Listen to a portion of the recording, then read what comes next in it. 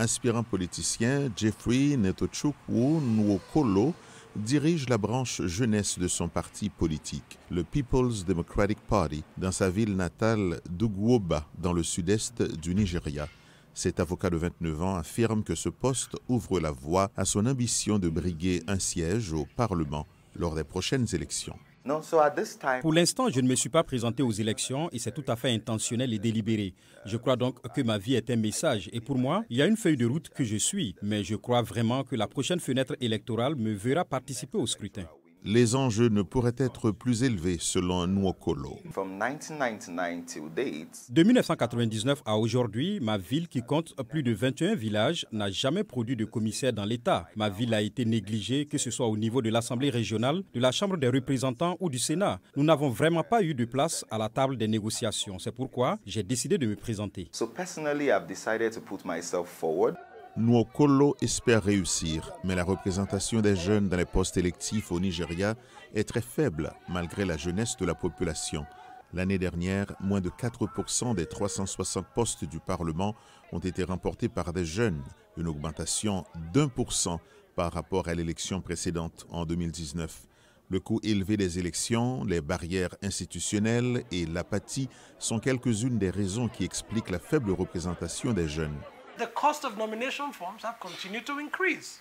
Le coût des formulaires de candidature a continué d'augmenter. Je n'arrive pas à comprendre. Même les partis qui sont censés être au service du peuple vendent leurs formulaires 20 millions à 30 millions de naira. Je ne sais pas quoi dire. C'est l'une des tentatives les plus drôles pour prétendre vouloir résoudre les problèmes.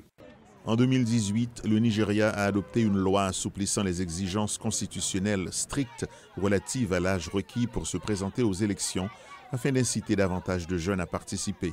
Mais des années plus tard, peu de progrès ont été réalisés, selon Olanian Sanusi, responsable de programme à l'organisation à but non lucratif Yaga Africa, l'un des groupes pro-démocratie ayant plaidé en faveur de la loi.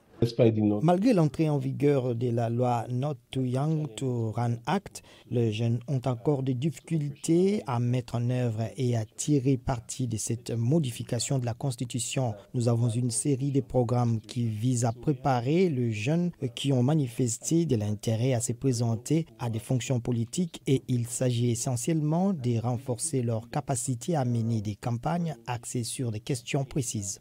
Mais en février de cette année, des groupes de la société civile et des leaders de la jeunesse de divers partis politiques se sont réunis à Abuja pour exiger l'inclusion de 35% des jeunes dans les rôles électifs et nominatifs. Ils ont également recommandé l'exonération des jeunes candidats quant aux frais d'inscription. Mais pour l'instant, de nombreux jeunes auront du mal à gagner un concours de popularité face à des systèmes qui, selon eux, favorisent un ordre plus ancien.